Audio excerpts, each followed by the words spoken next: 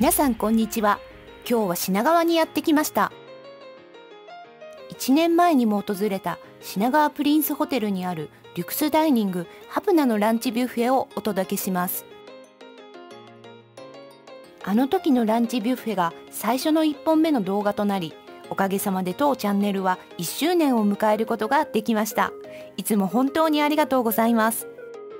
今回は1周年を記念して思い出のハプナでランチビュッフェを楽しみたいと思います。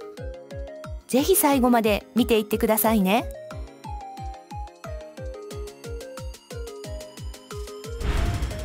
こちらは小さなグラスに入ったカラフルな前菜。去年見たお料理に似ているものもありました。子供の日が近いからかちらし寿司がありました。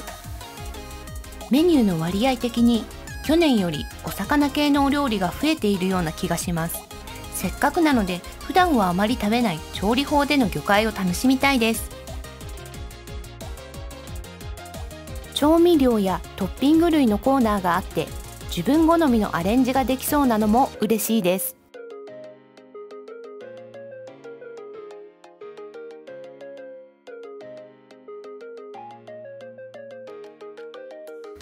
腹が空いているのでさらにお寿司を取っていくとすでにお皿はいっぱいでお席に戻って早速いただいていきたいと思います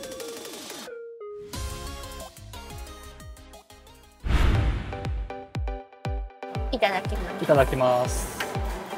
い一年ぶりのハプナだよ。1年ぶりだね本当にねまるっとちょうど去年もね、ゴールデンウィークに来て、あの時はスペインフェアだったもんね。そうあの時はスペインフェア今回はカラフルなんとか。うゆえに、お料理もきっとカラフルなはずなんです。んそうだねじゃあ、まずね、ちょっとね、お腹が空いてるから お腹すき放題なんで、おお寿司から食べようかそんなに大きくなくていいよねな。うん。シャリが大きめだね。うんちょっとね寿司酢の酢が効いてるねあすごい効いてるね。うんこの間サーモン死ぬほど食べたのにまたサーモン。うん。身が身が厚い。うん。全体的にお魚結構多い気がする。あそのマリネ超美味しい。ほんと、もう結構いろいろ入いってる。ろいろ入ってるね。うん、うまい。甘い？甘い。で最強焼き。うん。油が乗ってて美味しそう珍しいのはもずく酢は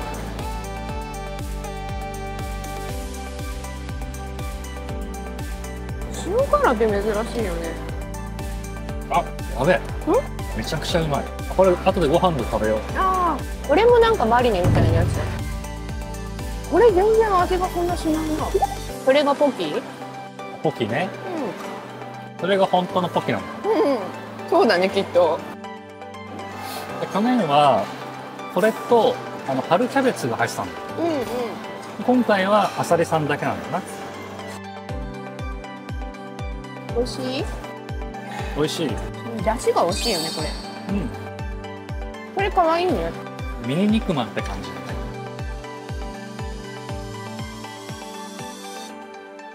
肉まんだね見た感じだからね結構辛いらしいの。あそうなの？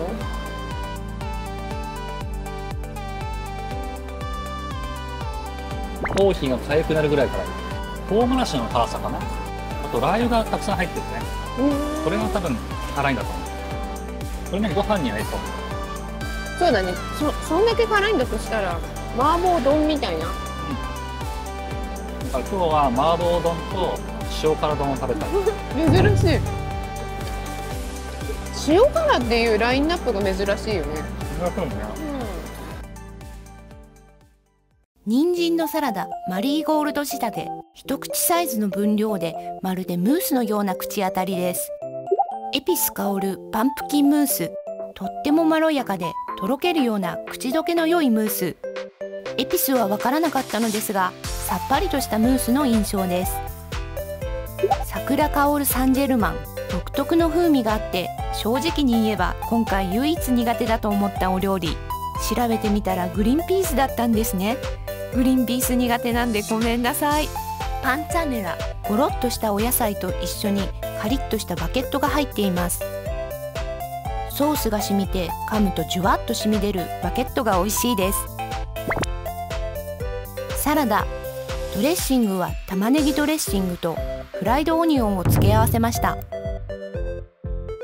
生ハムとカラフルトマトのカプレーゼ。生ハムとモッツァレラ。プチトマトとメロンが入ってバジルソースで和えた贅沢な前菜。すごく美味しいです。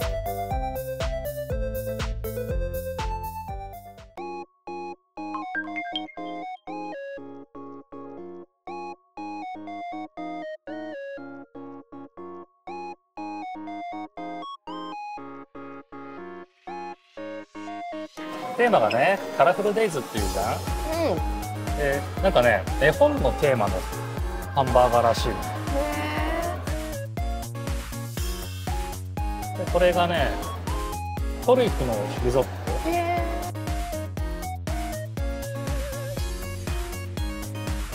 中に入ってるのは、パッと見は同じなんだよな。確かにおすごい色だねでもあれにかなり肉肉肉肉しい感じだね中までしっかりその色なんだね青色と、それ以外の味の違いがあること。そうだね緑色は、パンがお茶の味がする。いや特にこのこれっていう強いのないな本当。うんあの、お茶のパンが特別強烈なんだ。すごい、びっくりした。あでも、美味しかった。で、珍しいと思ったのが、ブロッコリーの天ぷら。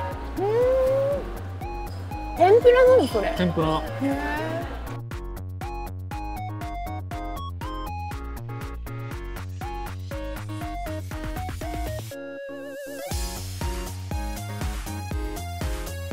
うん、チーズたっぷり。木焼きなんだね。トリュフの、トリュフのリゾット。すごいトリュフ。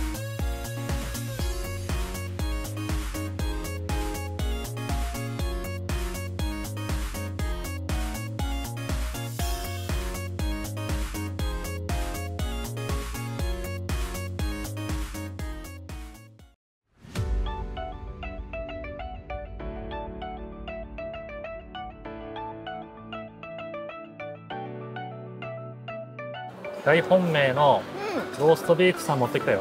結構ちゃんと火が通ってる系なんだ。確かに。ソースは玉ねぎソースと塩。結構肉厚で歯ごたえのあるローストビーフですね。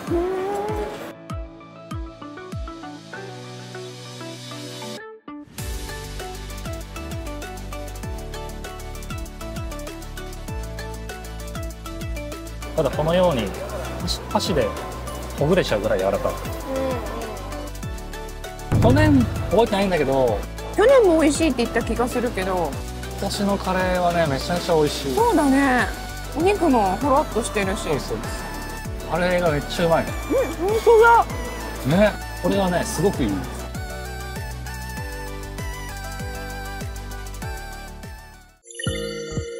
ではそろそろデザートタイムの始まりです色鮮やかで美味しそうなアイスは去年も美味しかったのでとっても楽しみにしていました。4月から6月末まで続くこちらのフェアでは時期によって変わるスイーツがあります。4月のパンナコッタは桜でしたが5月6月はベリーのパンナコッタに変更されます。確か去年はガラスケースの中のデザートはまとまってデザートプレートとして提供されていましたが今回は一つずつ好きなものだけをいただけるようになっていました。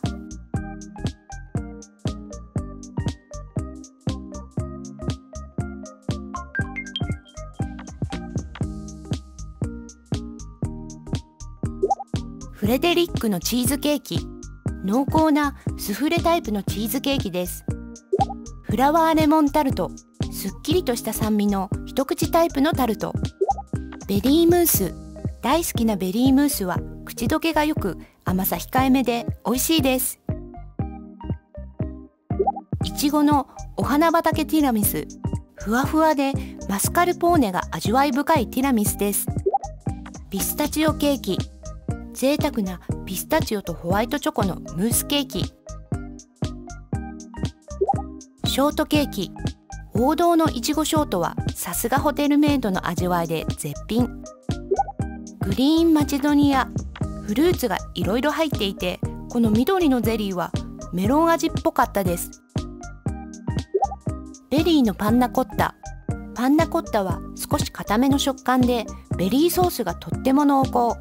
ドライラズベリーのパンチのある酸味が食感とアクセントになっています。ジェラート各種。ジェラートは4種類。甲乙つけがたくどれも激うま。さっぱりするならブラッドオレンジ。甘さが欲しいならバニラがおすすめ。